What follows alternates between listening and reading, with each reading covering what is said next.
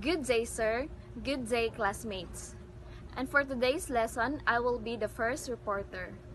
And now, let's start for a prayer. In the name of the Father, and of the Son, and of the Holy Spirit, Amen.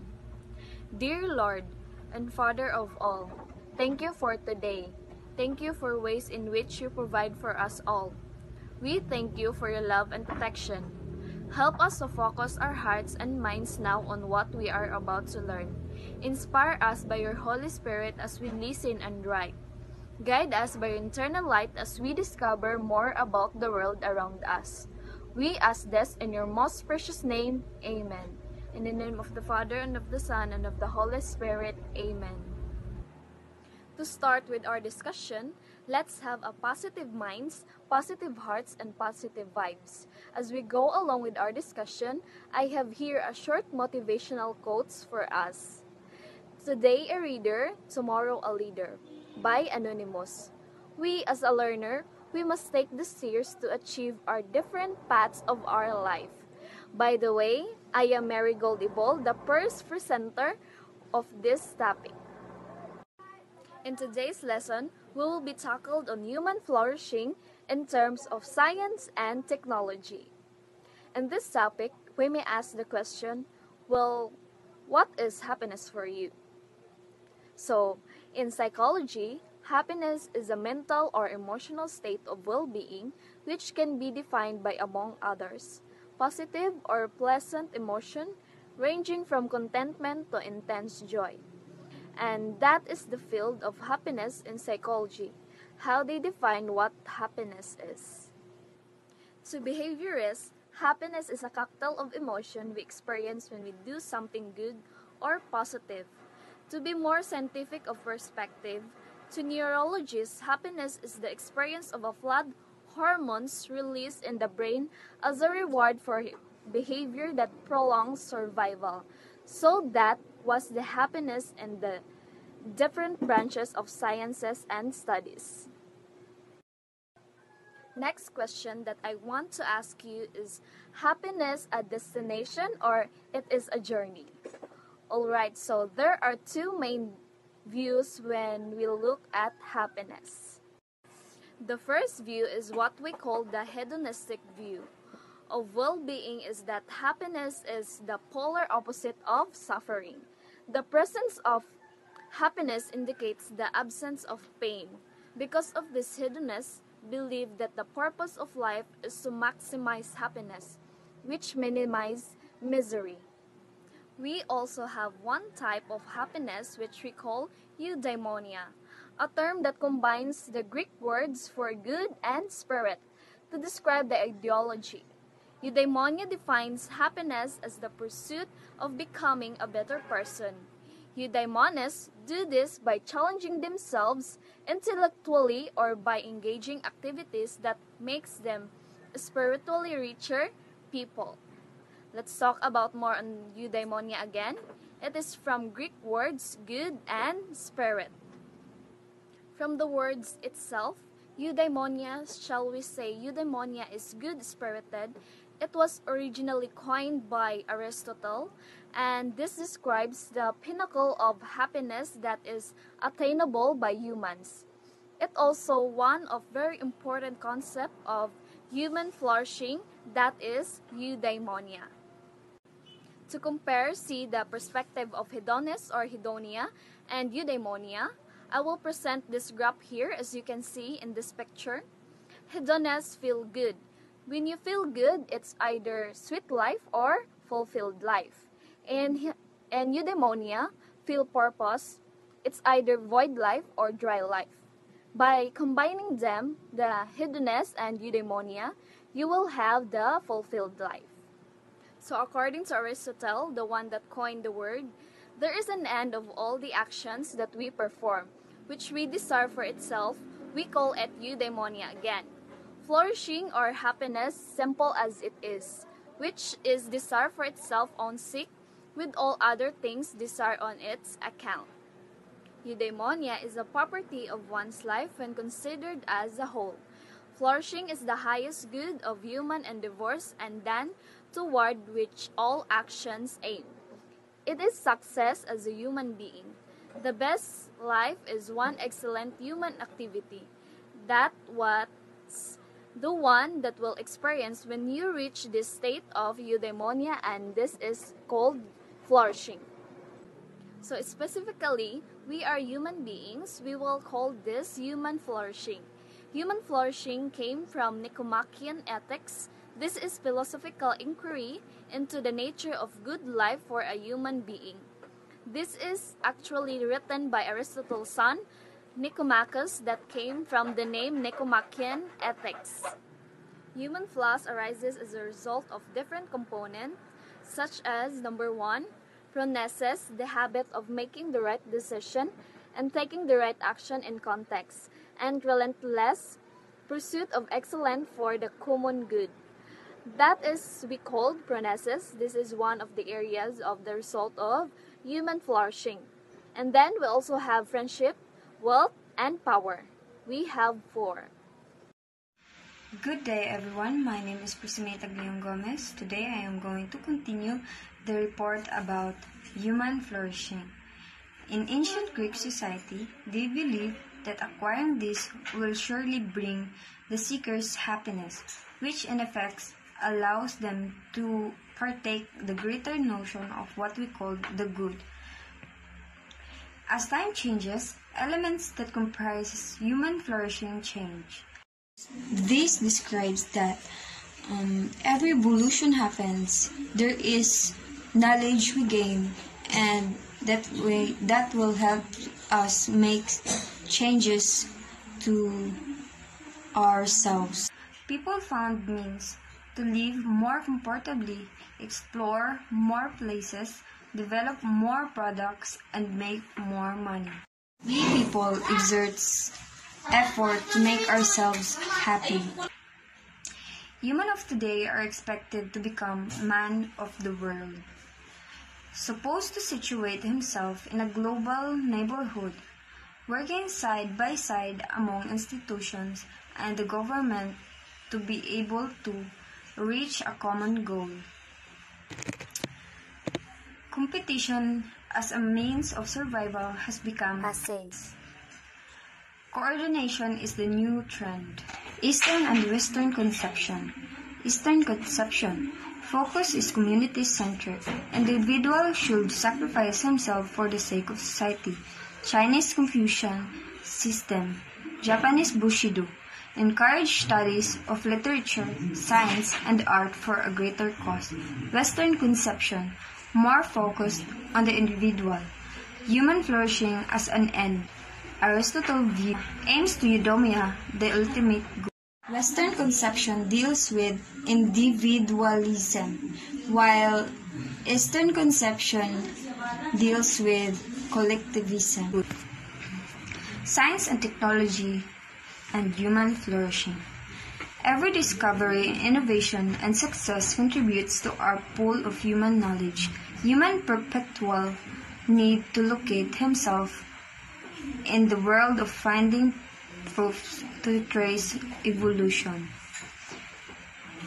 Elicits our ideas of self-importance. Technology is a human activity we excel in as a result of achieving science. Heidegger. Good is inherently related to the truth. Good day everyone, this is Mel Ansi Ingalan with continued discussion. In this session, I will discuss the technology as a way of revealing human flourishing. So let's find out what does technology reveals. Let us first define what technology is. Technology means to an end, which means technology developed with a purpose. Technology is a tool. Can Technology is a tool to, for us to have a better living. Can't we imagine without the innovation of technology, it is hard for us to do things manually. Technology is a mode of revealing. So let us now proceed to human flourishing in technology. Involves the rational use of one's individual human potentialities including talents, abilities, and virtues in the pursuit of rationally chosen values and goals. science, and technology must be treated as a part of human life and needs reflective way of thinking. How can technology be a way of revealing? Technology is a way of revealing because we perceive technology on its essence and purpose. Thus, technology means to achieve man's goal by by using this as an instrument to give idea of what ex- to expect out of technology. An instrument of a human to create wealth to have a good life and a way of human flourishing. So let's proceed to technology as a mode of revealing. Technology is embody a specific way of revealing the world, a revealing in which human takes power over reality. Technology is a way of revealing that characterize our time. In shaping our day-to-day life, we always face reality, on it, the reality on what is really happening in our world. Every time we perceive or think or interact by entering into a particular relations with reality, reality is revealed in a specific way. It is part of human flourishing to engage different activities in our society. Let us all be familiar with a philosopher named Martin Heidegger, which set upon man and a way of revealing, in which holds the essence of modern technology. First, it is not something we make, it is a mode of being or of revealing. Second, points that technology even holds a way over beings that we do not normally think as technological. Third, the essence of technology, as Heidegger discussed, is a primary matter of modern and industrial technology. Fourth, technology is a simply practical application of natural science. Heidegger point out technological objects are means for ends and are built operated by human beings. But the essence of technology is something else entirely. He strongly opposes the view that technology is a means to an end or a human activity. Martin Heidegger is a German philosopher who gives us another way to look at technology. He asserts that technology can be understood based on its being and constitutes human activities. Part of human activities is survival. So in order for us to survive, human created a way to discover technology. And the essence of technology made people live happy and due to less effort and less work made because of modern technology made by human activity. With all of this revolution, technology has made our life better. That is what technology wants to reveal. That is created through human activities and human activities requires our abilities and potential that part of our human flourishing. The good life. What is meant by good life? Every human being aspires to live a good life. The problem is, we all define the phrase good life differently. Some are looking to live an honest life, full of integrity, joy, and happiness. Others seek wealth, social status, and fame, as they are hope this aspect will help them to live the good life. In fact, they directly associate the good life with money and material belongings. so what exactly is the good life and what it contributes? Living the good life means living a life that sets you free, a life that satisfies and fulfills you, that adds happiness, joy, and a sense of purpose to your life. But it also means to live a life that is worthwhile, a life that makes a contribution instead of being solely self-centered. The good life is a life that is not primarily wasted with mundane activities. Instead, it adds value and contributes to making this world a better place. Even more so, it also contributes to your own growth. Therefore, the good life combines aspects of exploration, self-mastery, and civic responsibility with the endeavor to spend your time in a worthwhile manner that both satisfies and fulfill. It is only through the combinations of these aspects that a joyous and happy life can be truly considered the good life. Aristotle is an ancient Greek philosopher known for his natural philosophy, logic, and political theory. He is one of the greatest thinkers in the history of Western science and philosophy, making contribution to logic, metaphysics, mathematics, physics, biology, botany, ethics, politics, agriculture, medicine, dance, and theater. His first to classify areas of human knowledge into distinct disciplines such as mathematics, biology, and ethics. Is one of the strongest advocates of liberal arts educations, which stresses the education of the whole person, including one's moral character, rather than merely learning set of skills. Aristotelian's Nicomachean Ethics is the fundamental basis of Aristotelian's ethics. It is abbreviated as NE or sometimes EN based on the Latin version of the name. It is a treatise on the natures of moral life and human happiness based on the unique essence of human nature. Aristotle's Nicomachean Ethics 2 column 2 stated that all human activities aims at some good.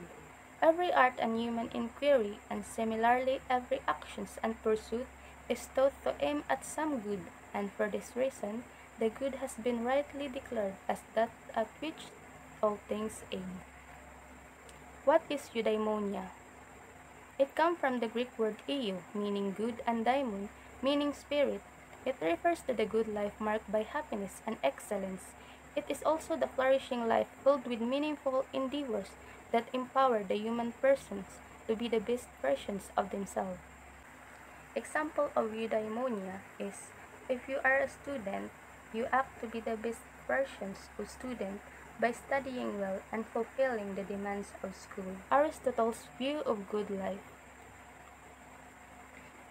The activity of the souls in accordance with virtue. It believes that good for humans is the maximum realizations of what was unique to humans the good for humans was to reason well. The task of the reason was to teach humans how to act virtuously and to exercise faculties in accordance with virtue. Virtues. It is the dispositions to behave in the right manner and as a mean between extremes of deficiency and excess, which are vices. It is a showing high moral standard. Aristotle's Nicomachean Ethics 2 column 1 there are two kinds of virtue, which is the intellectual and moral.